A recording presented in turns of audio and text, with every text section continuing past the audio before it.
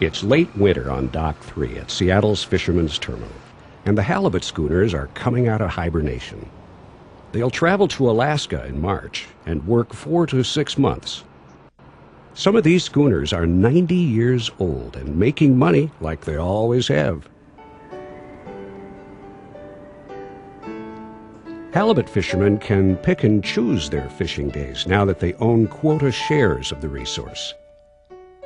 Prices are good, and the resource is strong. The quota system lets the schooners work when sea conditions are favorable and the market is right. The fishing is safer, and the consumer gets high quality food. If you've got quota, the future is bright. These old schooners aren't the only world class vessels in Seattle's dynamic distant water fishing fleet.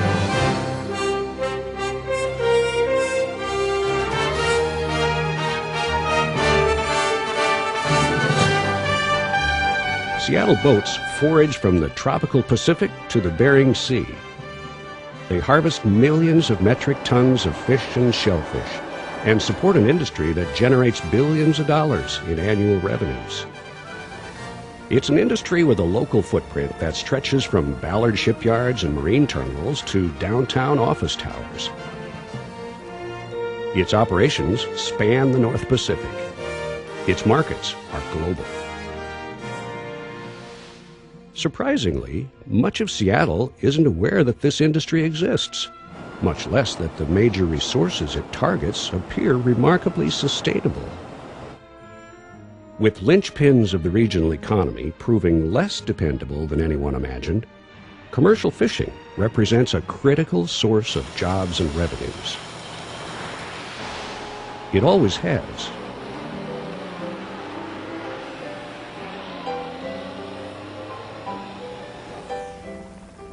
Today, the core of the North Pacific fishing fleet calls Seattle home. But seaports up and down the Pacific coast have put out the welcome mat, striving to lure away bits and pieces of an industry that may be best appreciated away from home. This is the story of the Seattle industry that occurs out of sight and largely out of mind.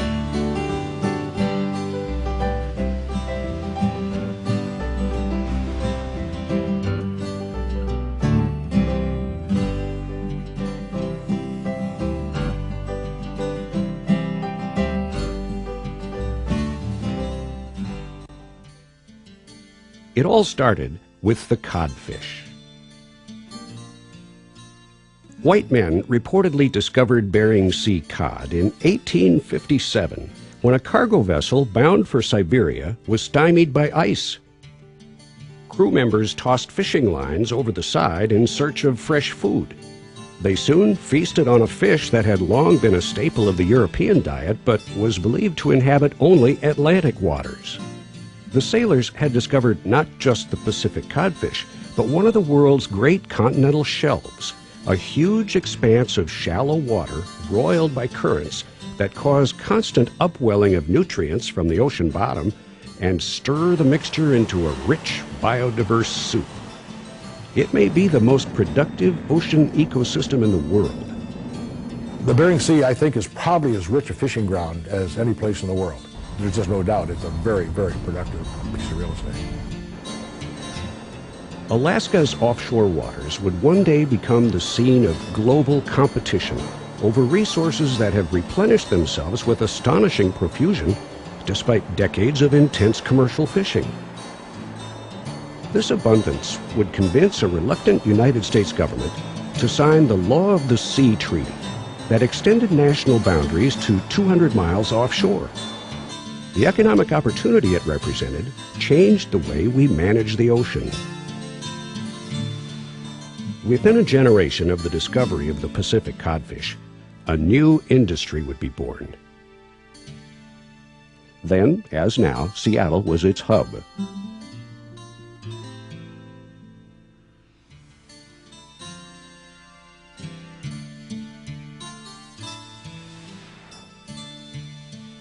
In the beginning, sailing ships left Seattle with flotillas of dories nested on deck.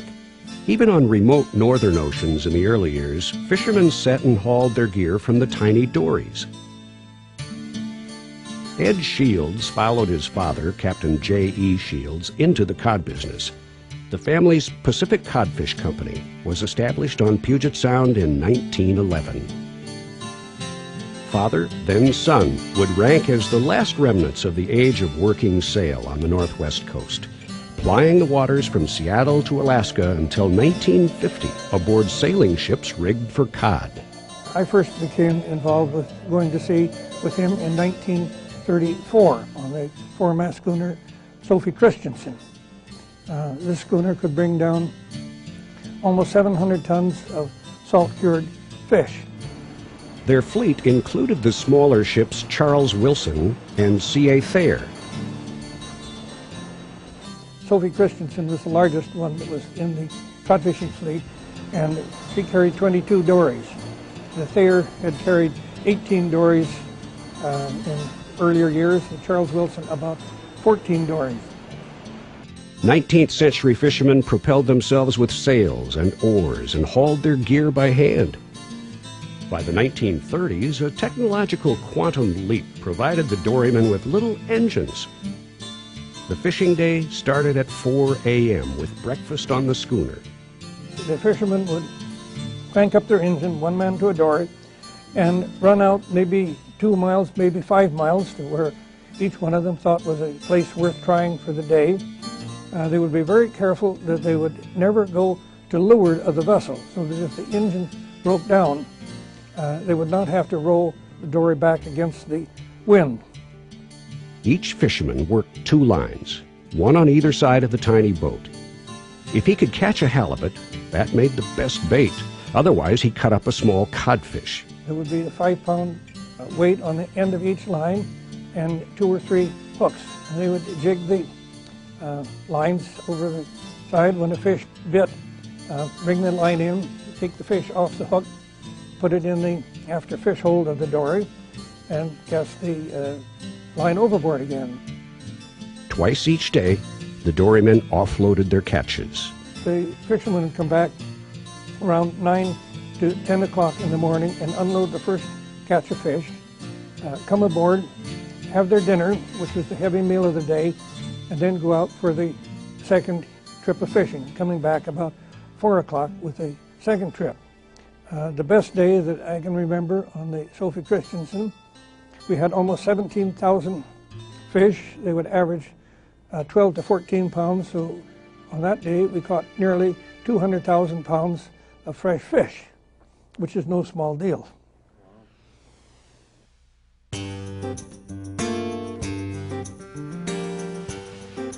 Pacific halibut, the world's largest flatfish, would become the target of a much bigger fleet of Seattle fishing vessels. Bob Alverson manages the Fishing Vessel Owners Association, an organization that has represented Seattle's longline fishermen since 1914. He describes the birth of the halibut fleet. It's officially given on record as, as 1888. That's when the uh, railhead came into Tacoma and sailing ships like the Molly Adams came around from New Bedford. In the halibut fishery, sailing schooners briefly gave way to steamers that traveled farther and faster and carried more cargo. Early on, the Seattle waterfront became a hub of shipbuilding and repair. Maritime historian Jim Cole. I think that was probably uh, in the 1880s and 1890s when things uh, started to happen here. Uh, we were aware of the uh, halibut resource that was right in, in, the Straits of Juan de Fuca. There were, were halibut steamers constructed here or converted from other types of vessels uh, in Seattle. From the beginning, there was a strong ethnic cast to the Seattle fishing industry. A lot of the uh, the early participants in the fisheries were from Scandinavia, and there still is a very strong Scandinavian component uh, in the halibut industry. Back then, you had uh, uh, Scandinavian uh, shipwrights, Norwegians, and uh, some Swedes and Danes who uh, built very good boats. They brought that skill with them and the knowledge of designing the boats from um, their homeland. Early in the 20th century, the diesel-powered schooners revolutionized halibut operations. Nearly a hundred years later, some of them are still working. There are some remarkable old schooner vessels in, in this fleet. Uh, you know, the ones that come to mind are things like the Polaris and the Vansee, uh, built in the 1910s and 1920s, uh, and beautifully maintained to this day. Some of them are just gorgeous vessels. Well, there was approximately 150 of them built. To date, there's about 25, 26 that are still in use. The oldest one is the Tordenskjold, and it was built in 1911. So it's got about nine years to go, and it'll be a century old. In the halibut fishery, the relationships are as enduring as the boats. In fact, our uh, contract we've had with the Deep Sea Fishermen Union, that are halibut fishermen, was done in 1914 as well. That was the first year of the contract. And uh, we just extended it uh, for four years, so that's going to make that contract a little over 90 years old. And uh, those crewmen have uh, a history just like our boats have a history.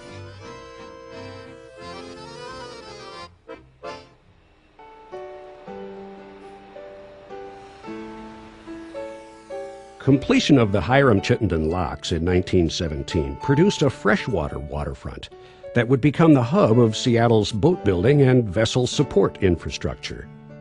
Ballard was about to emerge as a fishing industry powerhouse. It attracted a, a lot of boat builders. There were a lot of them on uh, that canal. You, you know, Sievert Sagstad started his um, yard in 1905 just below uh, where the locks are now, just below where the railroad bridge is there. Then in 1916, he moved into the canal where the Sagstad Marina is now at the foot of 20th Street. He died in 1946, and by, by that time, uh, he had built 300 fishing vessels. The ability to move from salt water to fresh was a boon to the operators of wooden boats. You could get inside the, the locks and would not uh, have the, the problem with uh, the shipworms, you know, teredos, and be a little uh, less concerned about the condition of the bottom paint on uh, the boat. You know, you didn't have to deal with the tides, the rise and fall of the tides, and it was a pretty uh, serene uh, environment and, and a good place to work on your boat. Boat building and repair quickly became Ballard's signature enterprises. They still are.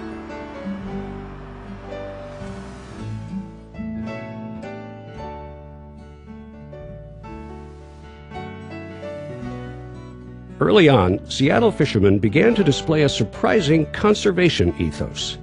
Contrary to popular theory, the halibut industry knew there had to be an arbiter between the fleet and the resource.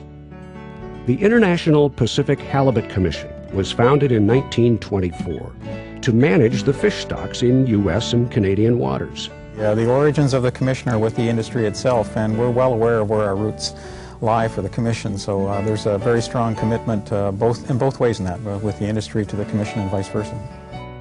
Scientists and industry developed a grudging respect for one another, and a long tradition of cooperation between Northwest fishermen and fishery managers was established.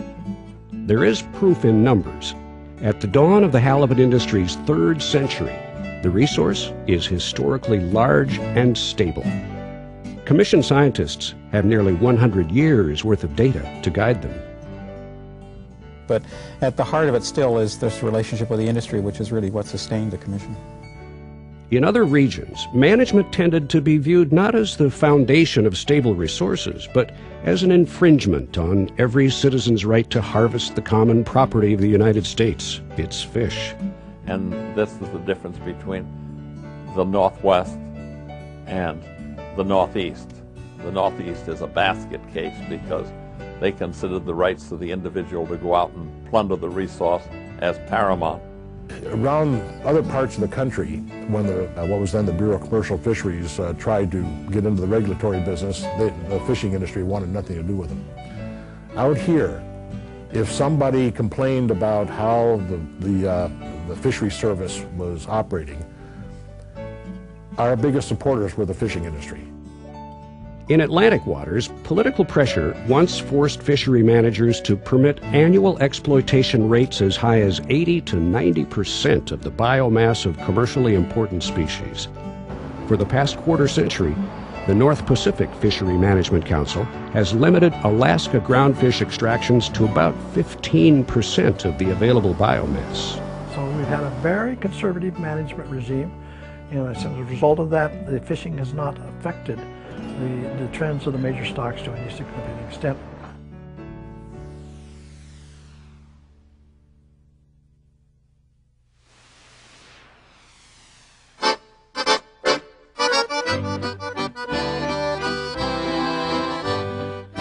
Throughout the early 20th century, salmon formed the basis of the region's biggest fishery.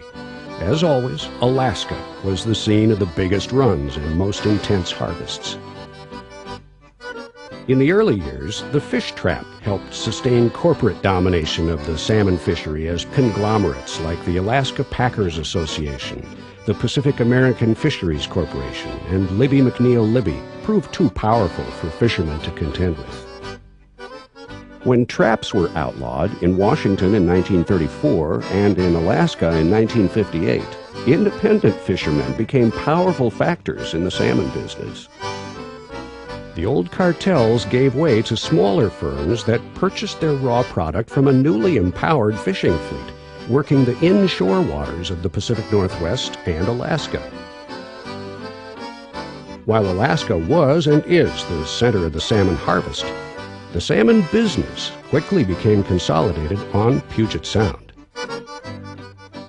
Bob Morgan entered the salmon packing industry during World War II. At first, he tried to conduct his business from the Alaskan community of Cordova. He quickly realized that financing his operations, transporting his product, and communicating with his customers required a larger venue. Seattle. When I first went to Cordova, the Alaska Signal Corps had one telephone. And you had to go uptown to talk on the phone, and it might take you an hour to get your party and, and, and communicate. So communication, transportation, and finance was the, was the reason. As the financial, administrative, and vessel support components of the fishing industry became consolidated in Seattle, the residents of resource rich Alaska frequently felt diminished as if their business partners on Puget Sound treated them like a colony. There has always been an undercurrent of tension between the Alaska and Seattle components of the fishing industry. But in reality, the two regions are completely dependent on one another. It seems fair to say that Seattle is an Alaskan fishing port. Well, I've been in the business uh, since 1941. I don't uh, look at myself as a as a Seattleite as opposed to Alaskan. I, am I'm part of the fishing business, and I've lived in Alaska and I've lived in Seattle.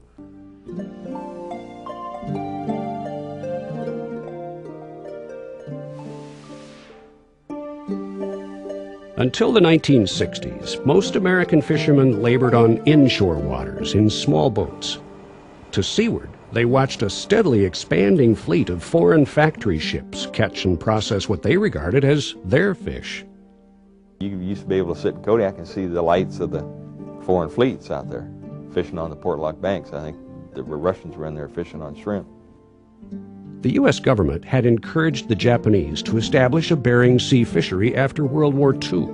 When MacArthur took over in Japan, he suddenly realized that he had 80 million starving people and that the Japanese literally didn't have an economy that could feed them, and they were fish eating people and as the United States was not using the northern Bering Sea themselves, why they encouraged the Japanese to enter into the fisheries as a method of getting food to the Japanese people at a time they were hungry.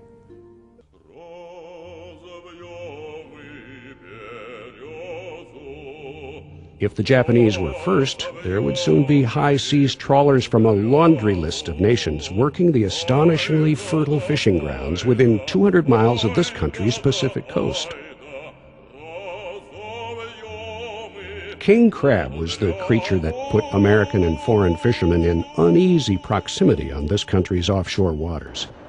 When king crab legs and claws emerged as a centerpiece of the dinner plate, Seattle fishermen began building substantial new vessels to participate in what would become an Alaskan boom. John Shong was a crab industry pioneer. He had emigrated from Norway in 1960. Nine months later, I found myself in the United States Army.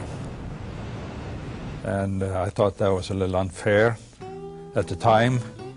But uh, uh, looking back on it, it was uh, two years well spent. And I spoke very nice English till I got back to Ballard, then went to hell again. Marine Construction and Design, or MARCO, typified the shipyards along the Seattle Ship Canal that were crafting a new generation of distant water fishing boats. Wood was about to give way to steel. Peter Schmitt had established Marco in 1953. I was convinced that the vessels would eventually be built out of steel, so I think uh, we got the first order for a crabber, the Olympic. And of course, we designed a totally new boat. Uh, it was a 94 footer. I got my first new boat. For that was the first Marco boat that was built. That was the Olympic. That was in 1967. We could take more pots and we could take more fuel and we could hold more crabs. So that was uh, that was uh, really a great boat. And Oscar, Oscar Dyson, he told me, you'll never pay for that boat fishing crab. A year and a half later, it was paid for. Conrad Urey was another Ballard pioneer. In contrast to the derby fisheries that would come to be measured in hours as too many boats crowded the crab grounds, Urey remembers the early days when crab fishing was a full-time enterprise. And we left Seattle in May, end of May. And we fished all year. We would be gone two or three months, and then we would fly home. Someone take the boat for a trip for you, then go back up again. And we came home for Christmas after, after the first one. Then you went back up again, and uh, then you came home in April. Across the canal from Marco, the Pacific fisherman was building another fleet of venerable distant water crab vessels. The Seattle-built steel boats would come to exemplify fishing vessel excellence. Good boats, very good boats, and uh, they've earned a lot of money. It would be interesting to know what um, just the average one of those boats uh, has has uh, earned in, you know, for its owners and during its lifetime. For a small fraternity of professional crab fishermen, the 1960s were a golden age. By the mid 70s, life on the King Crab grounds was good. Too good. Of course, the fishing kept increasing. The number of crabs kept increasing. We got in on a bloom like everybody. They don't come around very often in our industry. It was really good money. It really made a lot of people very wealthy. The profits attracted a flood of new entrants from far beyond the ranks of professional fishermen. The king crab fishery became a gold rush, plied by speculators. Brought in a lot of new people into the business, into the fishing business, of all kinds, doctors, lawyers, you name it, who bought into the vessels, and of course that's how it, uh, how it grew so fast. There was a tremendous amount of boats coming into the industry. There was no way it could hold up. Uh, it, it, was uh, the writing was on the wall, and uh, so we start looking around. What else can we do?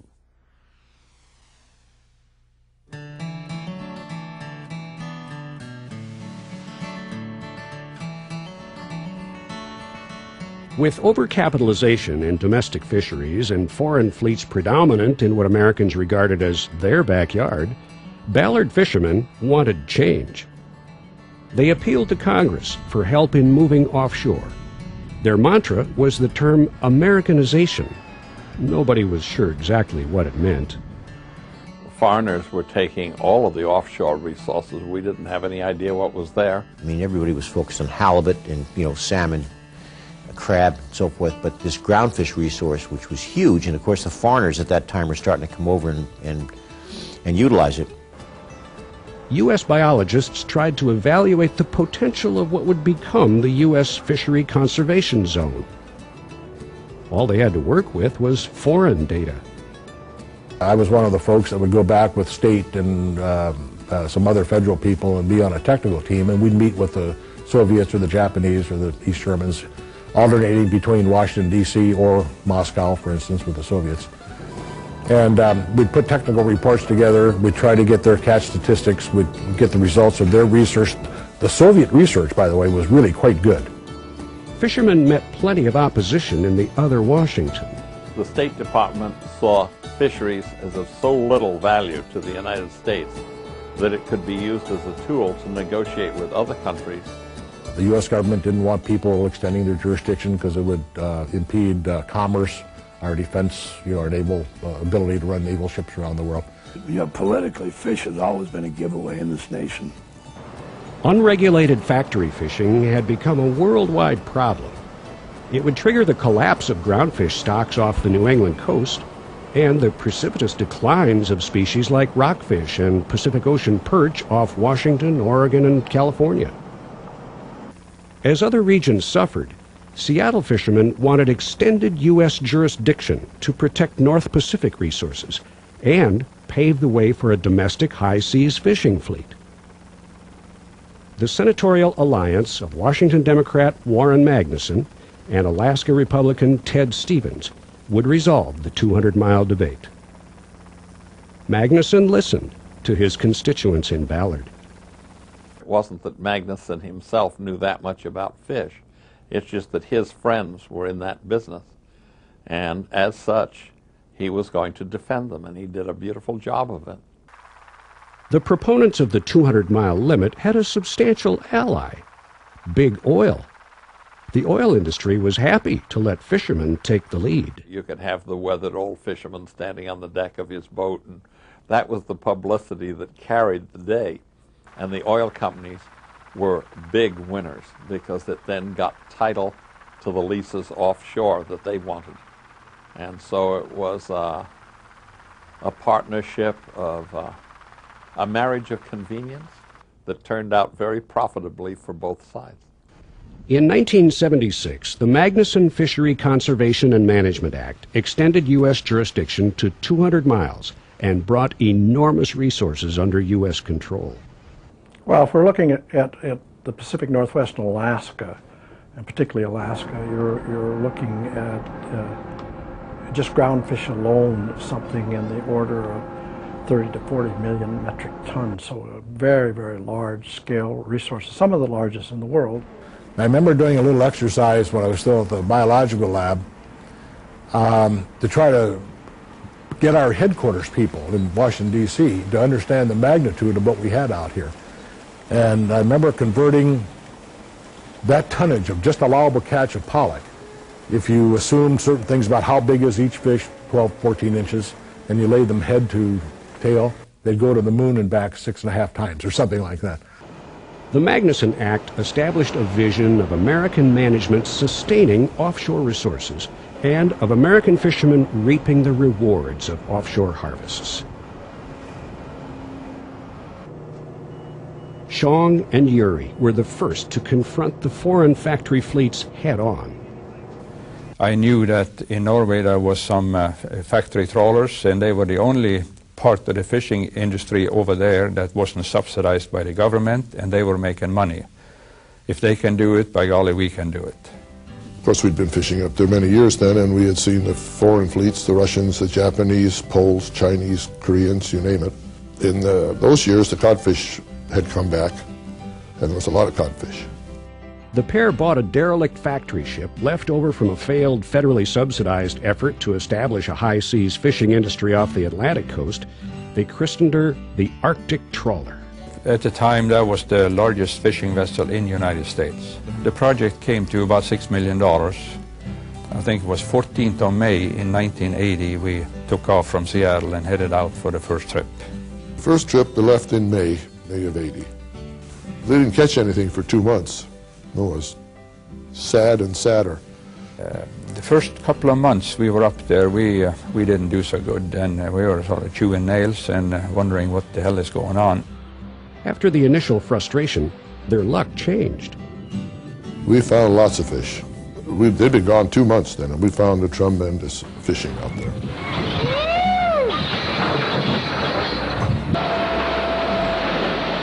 Basically, we wore the crew out in those in the next month. After a couple of months or so, then we got on them and and filled the boat and brought down a load of about two million pounds of uh, boneless, skinless fillets. American fishermen had historically targeted high value species like salmon and crab. They turned up their noses at groundfish. Not only was cod valued at pennies per pound compared to dollars for salmon or crab, there was a widespread assumption that American labor couldn't handle the rigors of processing fish in a floating factory. That's totally wrong. The American kids, they worked just as hard, and, and there wasn't ma- very many trips we had on the Arctic trawler before they started to move into the management positions, or the factory foremen and, uh, and the deck, deck boss positions and stuff. So that is not true. If Ballard's groundfish pioneers could contend with the harvesting and the processing, marketing was another story. Arctic trawler fish was caught, processed into fillets, and frozen within hours of coming out of the water.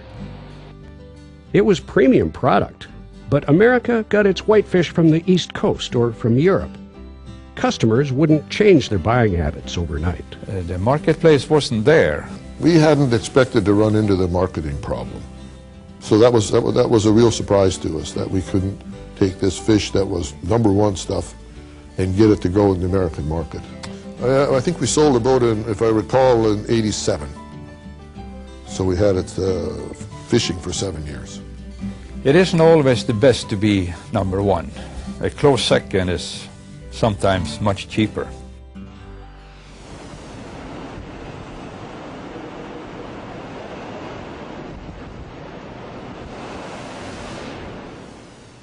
In 1980, Seattle crab fishermen enjoyed their greatest season ever.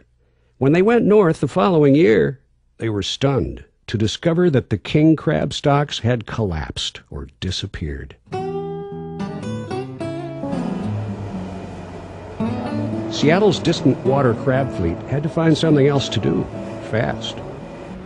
New entrants into the king crab gold rush learned the hard way about the ups and downs of fishing. Bankrupt vessels lined the wharves of Ballard. It was, really sickening to uh, go to Fisherman's Terminal and see those boats sitting there, you know, berthed, you know, two and three deep in, uh, for a while. Old timers dug deep and diversified. Diversification was the key. In those days, you could tender herring, tender salmon, fish a few crab. You just had to be afraid of high depth. Seattle's house forward crabbers had been designed as combination vessels, able to fish with pots or nets. Most of them had stern ramps built in through bringing the, the uh, net uh, up on, onto the deck, um, but it was plated over for you know, while they were fishing for crab. Um, the smarter designers and builders put shafting in them big enough for higher horsepower engines to be installed uh, anticipating maybe someday they will have to be converted to uh, trawling.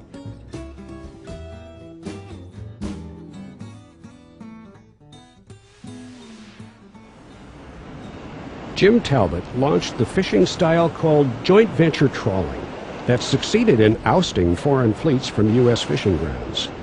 His father had established Bellingham Cold Storage in 1946. Seafood was always a major product line.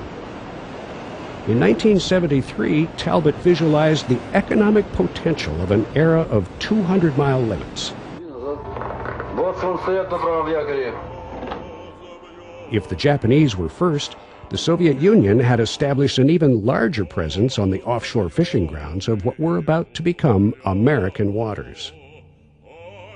To continue operating on the Eastern Pacific, the Soviets would need an American partner. I thought, well, uh, I'll propose a joint venture between Bellingham Cold Storage and the Ministry of Fisheries in, in the Soviet Union. So I um, wrote a letter to the Minister of Fisheries uh, back in 1973 um, uh, proposing that, uh, that we join a joint venture because it was inevitable the United States was going out to 200 miles jurisdiction, as were most of the countries around the world. And I could just think of the millions and millions of pounds that we could have over our dock. Given the political climate of the era, Talbot's proposal seemed absurd. The 1970s marked the depths of the Cold War. The U.S. and the Soviet Union were on the brink of destroying one another with nuclear missiles.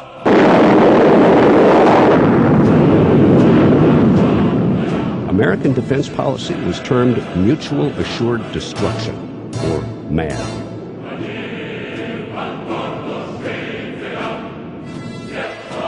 The Iron Curtain hid Soviet society from Western eyes. Since the Sputnik launch put the first satellite in space, Americans harbored a dread of Soviet technological potency.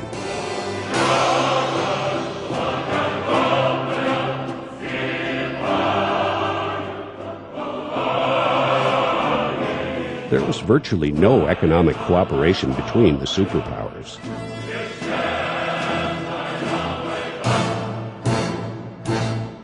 Talbot heard nothing for a year and a half. So I wrote another letter and uh, to the Minister of Fisheries and said, uh, our uh, uh postal system sometimes uh, doesn't get the letters delivered, and maybe the same thing is true in Russia, and perhaps it didn't arrive. And so anyway, there's a copy of the letter that I sent you uh, a year ago or a year and a half ago. And um, just within a couple of weeks, I got a, a call from the fisheries attaché uh, telling me that they were um, uh, very interested in what I was uh, proposing. Within days of the passage of the Magnuson Act, a delegation from Sovrybflot, the Soviet Fisheries Ministry, arrived in Seattle. So we negotiated for uh, oh, at least a couple of weeks, and then we signed the agreement. Uh, officially, we were in business. The Seattle based firm Talbot named Marine Resources was unique. It was the only joint venture between the United States and the Soviet Union. When the deal was done, Talbot and his team headed to Moscow. We're sure that, uh, that our hotel rooms were bugged, uh, always. And uh, there were times when uh, we'd find somebody in the room working on the bug uh, because it wasn't working well. And uh, they would uh, give some excuse about, well, I'm changing the light bulbs in the room or something like that. Uh, our uh, telephone in Seattle, I'm sure, was bugged by both sides.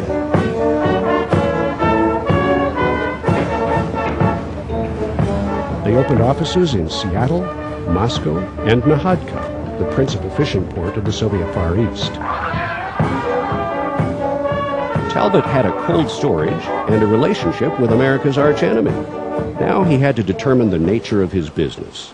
It quickly became clear that neither politics nor economics would permit Soviet motherships to deliver product to Bellingham.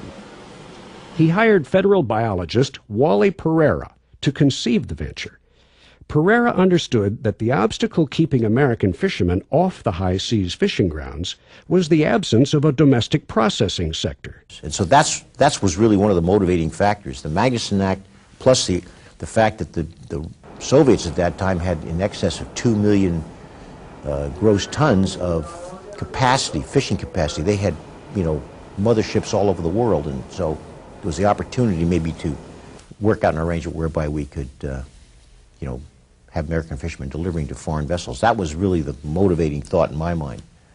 They would test the concept by fishing for Pacific whiting off the Oregon coast and transferring product to a Soviet mothership on the high seas.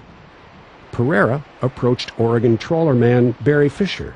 He was very skeptical because he, he was fishing along the coast and was getting, you know, the traditional prices for, for the, the flatfish species.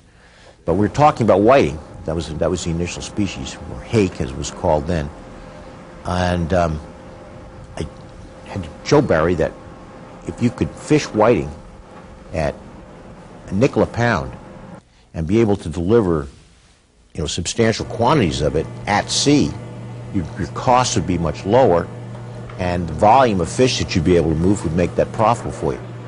The idea of, of having a factory ship follow me around to immediately take my production that production would be in the nature of 50, 60, 70, 80 tons a day. The price could be very low, to pay both paid to us and that the consumer would pay, and it would be a high quality product because it was processed so fast. Fisher and his American counterparts would have to make substantial investments in boats and gear. They would have to teach themselves the fishing method called midwater trawling. It was a gamble. And the Soviets weren't told much either. They showed up off our coast with orders to look for a boat named the Lady of Good Voyage, and the captain's name was Barry Fisher, and you're going to go on a joint venture with him. And we're trying to prove that he can catch enough fish to keep the factory ship going. But we didn't get the political permission to go until 1978 and 1978. It was only about a month left of the season. During that month, we taught ourselves to midwater trawl. For 10 days, it was no sleep, gear foul-ups, uh, not getting the net fished right, uh, snarling it, putting it on the bottom, tearing it up. And those were pretty bad times. Pereyra and his Soviet counterpart within Marine Resources, Valery Latichev, were aboard Fisher's boat as observers. Pereyra noticed the difficulties and ventured a suggestion. Barry was just pulling his hair. He had this new vessel. It wasn't, he'd having some problems with the vessel. Then he was having problems with the nets and the doors and every, and he was just beside himself, and it was hot. And I can remember to this day, you know, Barry up there in the wheelhouse, he had this, had this um, white T-shirt on, and his hair was all awry from running up and down and so forth. And and Larry and I were up in the wheelhouse, and so I, I said, Barry, I said, you know, I've been watching what you've been doing in there. You know, you might uh, you might want to do. And before I ever got the word out of my mouth, Barry turned on me like, and I, you know, and he, I can't I can't repeat what he said, but the long and short of it is, you get out of the wheelhouse. There's only room for one. There's only room for one captain on this boat, and I'm the captain. and he, he says, I don't want you up here anymore. And then the last 10 days of that month, everything clicked. And I put in over 800 tons in 10 days. The Soviet captains liked to test drive the high-tech American trawlers. They held the American captains to 35-ton catch limits. But anytime we'd make a delivery, it had to be 35 tons. But when they got there, they wanted bolshoi. They wanted, you know, they wanted big, big caught in to deliver to show that they were good fishermen, you know.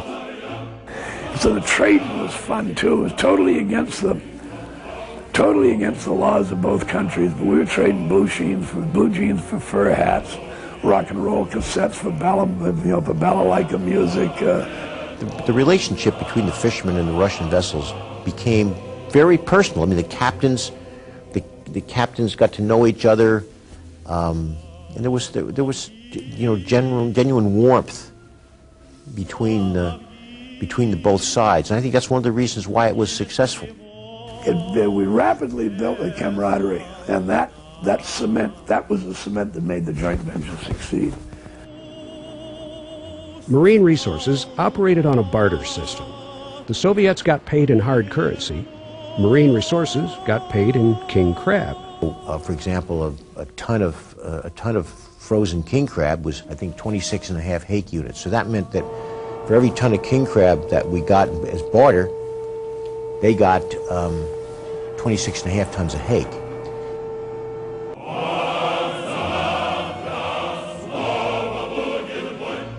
The Soviet processing hands were paid on a share basis. The more they produced, the more they earned. The Soviet government hadn't counted on profit-motivated productivity. That first year, they wound up making uh, making far more than very senior people in the government. For example, the, the, fish factory workers were making more than an admiral in the Soviet Navy. Of course, by the next year, they'd, they'd readjusted it downwards.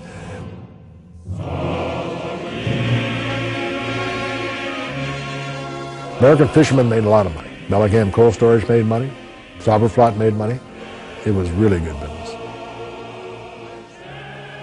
Enterprises like that should oftentimes be considered as probably the most valuable way that, that any two societies can get along with each other. It was economically profitable and socially it was a lot of fun. And philosophically, I think it taught both of us on both sides a lot about things that we'd always taken for granted. And it, uh, it totally destroyed the idea that the Russians were the bad guys.